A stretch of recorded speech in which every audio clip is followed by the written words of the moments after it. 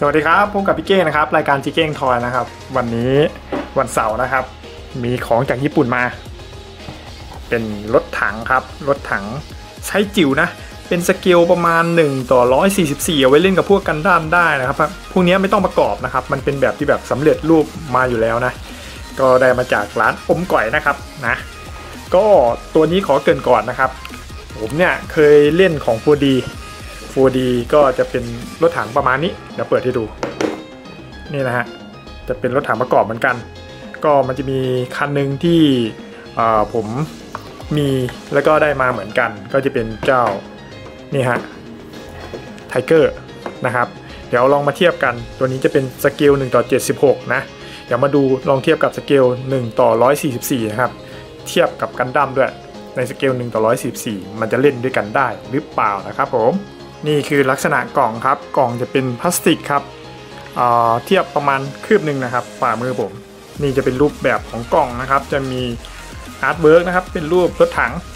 แล้วก็รูปแบบเมื่อเข้าประกอบกับฉาก พร้อมกับอยู่กับรถถังหลาย ๆ แบบที่เขามีจัดจำหน่าย ตัวนี้ผมได้มากล่องเดียวนะครับ ก็ได้มาจากร้านน้องชายนะครับที่รู้จักกันนะครับผมนี่นะครับก็จะประมาณนี้นะ เดี๋ยว กะให้ดูข้างในนะครับว่าหน้าตาเป็นยังไงนะครับผมโอเคนี่รูปลักษณ์หน้ากล่องนะเดี๋ยวขอแกะก่อนนะครับแกะหัวมาการบรรจุภัณฑ์เขาก็จะอยู่ในลักษณะแบบนี้ครับเป็นกล่องสีน้ำตาลเลย พร้อมกับเป็นแพ็คใสนะครับ ให้เราเห็นนะครับอะเดี๋ยวลองออกมาให้ดูนะครับผมอ่าออกมาก็จะเป็น double pack อย่างนี้นะครับ หนาแน่นเลยกันฝุ่นอย่างดีเลยนะครับโอเค เดี๋ยวแกะมาให้ดูนะครับยลโฉมว่าหน้าตาเป็นยังไงนะ แกะออกมาแล้วครับ ขนาดเล็กมากเลย เทียบกับนิ้วผมนะ นี่นะครับเทียบกับนิ้วถือว่าเล็กมากเลยนะครับ มีเป็นลาย decal นะครับ ติดก็จะมีลาย paint เป็นลายพรางนะครับ มีตัวเลขตองสองลองเทียบกับไม้บรรทัด อันนี้วาดวัดจากล้อหน้าไปถึงล้อหลังนะครับ อยู่ที่ประมาณ 4 เซนนะถ้าเทียบกับไม้บรรทัดเลย เดี๋ยวหมุนให้ดูนะครับรายละเอียดดีเทลอีกสักหนึ่งรอบนะครับผมว่ามันมีอะไรบ้างตัวนี้นี่นะฮะมีล้อหมุนล้ออลิ้นตะขาบนะครับ ด้านหน้ารายละเอียดดีเทลดีมากเลยนะนะครับเดี๋ยวซูมให้ดูอีกนิดนึงนะครับนี่ครับสุดๆคันนี้สวยมากครับเป็นสเกล1ต่อ144 นะครับ ถ้าเทียบกับงาน 4D นะครับ ไซส์จะต่างกันมาก เพราะว่า 4D เนี่ยจะเป็นขนาด 1 ต่อ 72 อ่า นี่ยังกับพ่อกับลูกเลย สเกลนี้เป็นสเกลไว้เล่นกับ HG นะครับ กันดั้ม1ต่อ 144 ได้ สังเกตว่างาน 4D บังมิดเลยนะ แต่ด้วยความสวยงามครับ ตัวนี้ผมว่าเล่นกับฉากเนี่ยสวยจริง ๆ เดี๋ยวลองเอาไปเทียบกับกันดั้มดูนะครับผม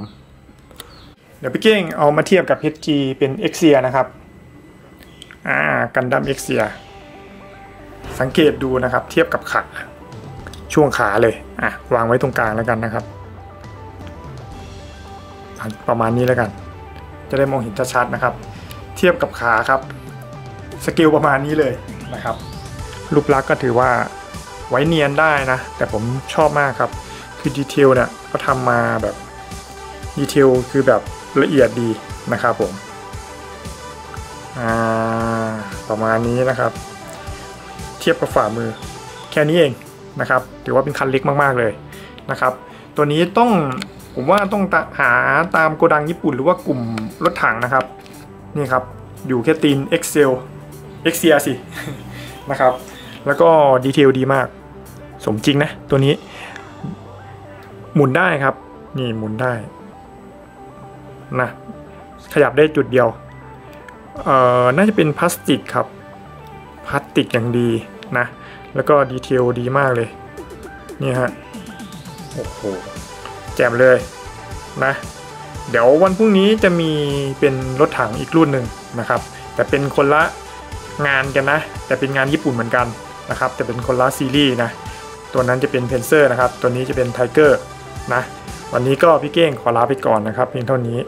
เดี๋ยวเจอกันคลิปหน้านะครับ วันพรุ่งนี้นะครับ สวัสดีครับ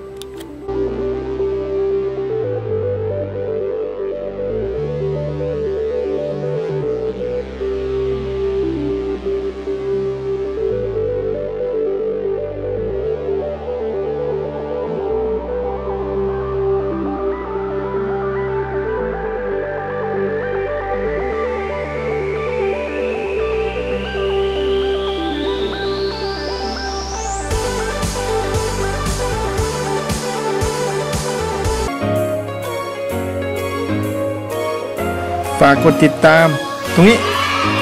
ช่องสีเก้งทอยด้วยนะครับ